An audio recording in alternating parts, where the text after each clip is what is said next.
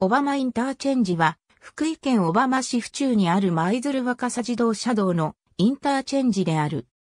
東愛市を境に東側は中日本高速道路、西側は西日本高速道路の管轄となっており、東愛市はネクスコ西日本の管轄である。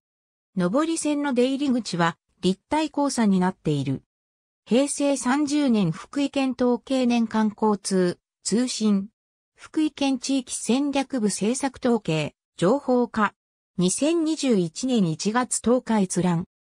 舞鶴若狭自動車道が平成23年7月16日に開通します。ネクスコ西日本ニュースリリース。2011年6月1日、舞鶴若狭自動車道オバマインターチェンジ鶴が JCT が7月20日15時に開通します。中日本高速道路。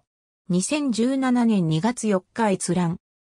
3月24日、道の駅が高速道路から立ち寄り可能に。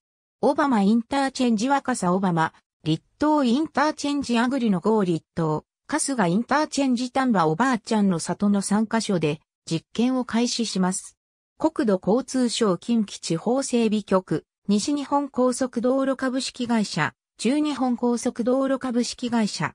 2020年5月3日閲覧。高速道路からの一時退出を可能とする賢い料金の実施について、国土交通省道路局。2020年5月3日閲覧。ありがとうございます。